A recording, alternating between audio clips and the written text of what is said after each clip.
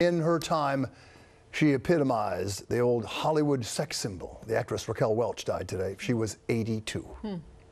Introducing the fabulous Raquel Welch, the sensational star discovery of this or any other year.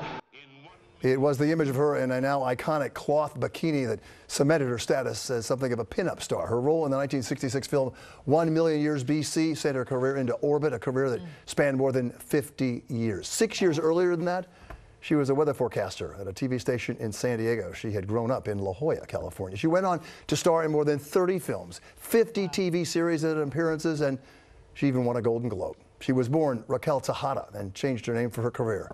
She leaves behind her two children.